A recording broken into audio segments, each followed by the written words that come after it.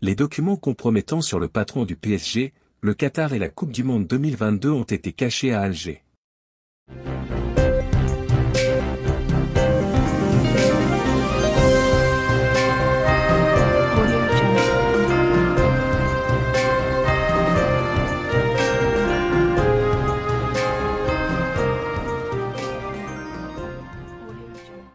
Valise rouge ayant contenu des documents très compromettants sur la vie privée et les deals secrets du patron du PSG, Nasser Al-Khelaifi, un proche de l'émir du Qatar qui occupe, entre autres, les postes de président du Paris Saint-Germain, PSG, et de patron du groupe BIN Media, a transité par Alger entre 2019 et 2020, ont révélé plusieurs sources médiatiques françaises.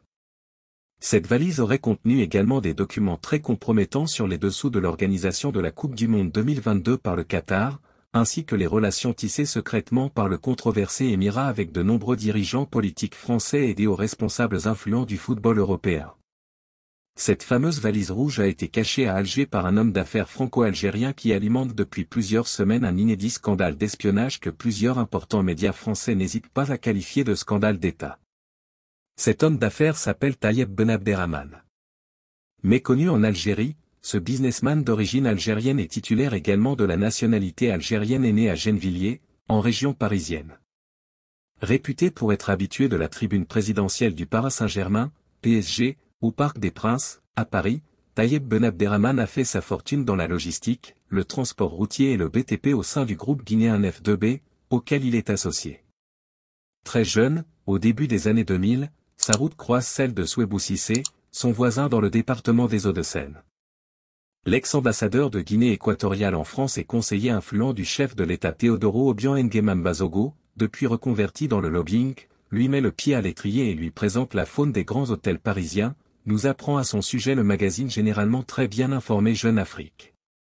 Grâce à sa fortune et ses connexions, le franco-algérien Tayeb Ben Abderrahman tisse des réseaux avec d'importantes personnalités politiques françaises à l'image des anciennes ministres Yamina Benguigui et Rachida Dati. Les médias français le remarquent lorsqu'il s'est imposé comme l'un des lobbyistes sollicités par divers dirigeants libyens pour trouver des soutiens en France et en Europe. Selon Jeune Afrique, c'est lui qui avait notamment organisé la visite à Brazzaville du maréchal Haftar le 16 septembre 2017. Plus récemment, c'est aussi lui qui était à la manœuvre pour organiser la rencontre, le 26 juillet 2021 dans la capitale congolaise, entre le président libyen Mohamed El Menfi et Denis Sassou Nguesso, le chef du comité de haut niveau sur la Libye à l'Union africaine, nous apprend à ce sujet Jeune Afrique. Saif el-Islam Kadhafi, le fils de Muammar Kadhafi, s'était lui aussi offert fin octobre 2021 les services de l'homme d'affaires franco-algérien bien connecté afin de défendre ses intérêts en France et en Europe, en prévision de sa candidature à la prochaine présidentielle libyenne. Le lobbyiste Tayeb Ben Abderrahman va ainsi se retrouver au cœur d'une sombre affaire d'espionnage impliquant le Qatar et l'influent Nasser al-Khelaifi. Tout a commencé le 29 septembre 2022 lorsque le businessman franco-algérien a été placé en garde à vue pour faux et usage de faux, corruption, recel et complicité de détournement de la finalité d'un fichier. Cette garde à vue a duré 72 heures à la Direction générale de la sécurité intérieure, DGSI, à savoir le renseignement intérieur français, en clair les services secrets. Tayeb Ben Abderrahman est soupçonné d'avoir joué un rôle clé dans une affaire d'espionnage inédite en France et au Qatar. Selon le prestigieux quotidien français Le Monde, Tayeb Ben Abderrahman a été arrêté dans le cadre d'une enquête à tiroir qui a débuté par la mise en examen pour compromission du secret de la défense nationale du journaliste d'investigation Alex Jordanov, auteur de Les guerres de l'ombre de la DGSI, Nouveau Monde, 2019. Les perquisitions menées chez ce dernier ont mené à Malik N, un ex-policier de la DCRI, l'ancêtre de la DGSI, soupçonné d'être l'une de ses sources. Malik N, reconverti dans la sécurité privée, est devenu, en 2018, référent supporter au PSG, où il a gagné la confiance de Nasser Al-Khelaifi en gérant le dossier sensible des Ultras, nous apprend encore le monde. Selon le Parisien, un autre important quotidien français, des vidéos de la vie intime de M. Al-Khelaifi et des enregistrements de ses conversations privées auraient été retrouvés, en octobre 2021, par les enquêteurs au domicile de Maliken. Ce sont ces informations, documents et matériaux confidentiels qui auraient été cachés dans la fameuse valise rouge cachée par Tayeb Ben Abderrahman à Alger. Les enquêteurs de la DGSI à Paris soupçonnent l'homme d'affaires franco-algérien de jouer un rôle de maître chanteur, notamment à l'égard du président du PSG. Cependant, un autre média français, Libération a révélé de son côté que l'homme d'affaires franco-algérien s'est installé au Qatar en 2019, où il travaillait pour un organisme paragouvernemental essentiellement dans un rôle de lobbyiste en faveur du petit émirat alors en proie au boycott de ses voisins saoudiens, émiratis et bahreïnis. Arrêté à Doha le 13 janvier 2020 sans explication, Tayeb Ben Abderrahman est détenu secrètement et victime, d'après ses avocats, d'actes de torture et de traitements dégradants. Le but de cette détention, selon ses défenseurs, lui faire rendre tous les éléments qu'il possède sur Nasser al-Khelaifi, notamment des informations sur sa vie privée et l'attribution controversée, en décembre 2010, du mondial de football au Qatar, explique le monde en faisant allusion au fameux document caché dans la valise rouge qui était caché à Alger. Au fur et à mesure que sa femme restitue des clés USB et disques durs, sa situation s'améliore.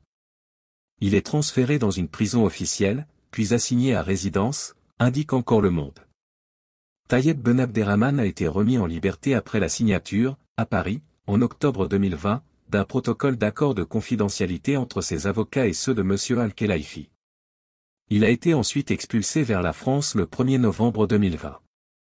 Nasser Al-Khelaifi et les autorités qataries ont donc réussi à récupérer la fameuse valise rouge cachée à Alger et l'affaire aurait pu s'arrêter là.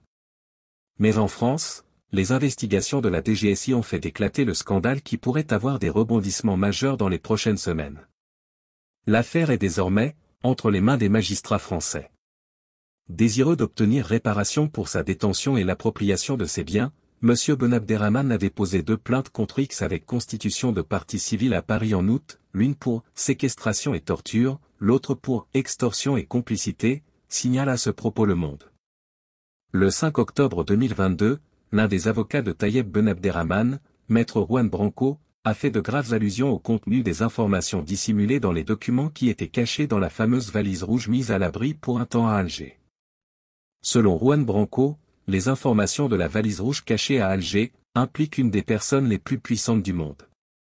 Cette affaire permet de se rendre compte de la centralité de la France dans ce processus d'obtention du Mondial 2022 et de l'importance de maintenir en place un appareil de corruption et de répression afin de s'assurer que tout se passe comme prévu, a ajouté enfin le même avocat sans vouloir fournir des détails précis.